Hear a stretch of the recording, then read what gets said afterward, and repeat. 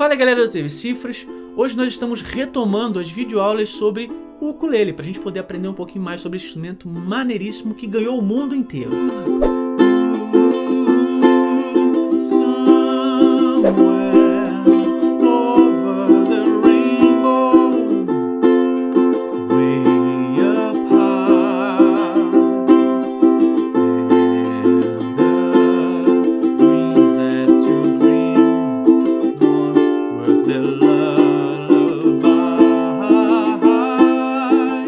Bom, esse que eu tô tocando é o tenor. Existem quatro principais tipos de ukulele. A gente tem o soprano, que é o menorzinho, tem o concert, que é um pouquinho maior, esse daqui, que eu já falei, e o barítono, que é quase do tamanho do violão.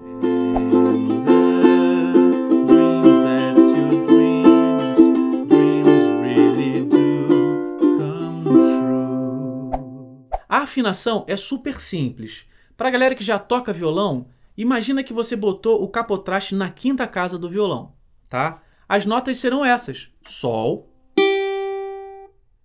Dó, Mi e Lá. E aí se liga só, com o teu afinador, você vai dar aquela conferida para a coisa ficar bem legal, tá? Existem diversos tipos de afinadores, não precisa ser esse de clipe não, tá? Pode ser o de, de, o de microfone, Fica tranquilo, desde que você consiga afinar. Então, se o teu afinador não tiver a, o, o, o modo afinar o ukulele, você vai colocar no cromático, tá bom? Que aí você pode fazer a afinação que quiser, tá?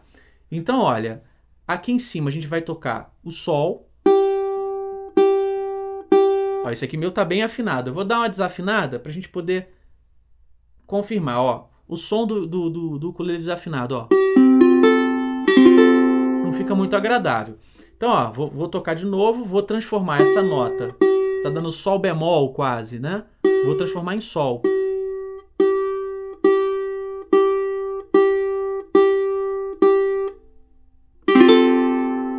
Diferença de acorde, né? Então, tudo que a gente for fazer no ukulele, a gente vai lembrar de certas coisas do violão. Imagina só, tá lá com o capotraste, você quer fazer o acorde de dó, ó, você quer fazer o acorde de Ré? Você quer fazer o acorde de Sol? A gente pode meio que pensar violonisticamente no ukulele, tá bom? Então isso é uma coisa bacana, é interessante você que já sabe tocar violão, não desprezar o conhecimento de violão. Faz essas adaptações. É muito bacana. Se você perceber, são as quatro cordas de baixo do violão, essa afinação que eu te falei, tá bom? Mais uma coisa. A gente vai trabalhar tanto a parte técnica, para desenvolvimento técnico desse instrumento, quanto a parte de repertório. Então vai ter músicas, vai ter solinhos, mas também vai ter aquela coisa para você aprender, porque é interessante não ficar só no repertório, para que você possa interferir na música, né? De forma consciente. Não fazer porque, ah, fiz e deu certo, mas fazer, pô, fiz porque eu sei que dá certo. É totalmente diferente, tá?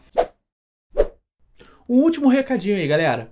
Você que sempre acompanha as nossas videoaulas e sabe que o nosso canal é um canal sério de música grátis para você, com videoaulas super maneiríssimas, e não sabe como ajudar, é muito simples. Além do Loja Cifras, que eu já falei várias vezes em videoaulas aí, se você não souber, tem um link aqui embaixo, tá?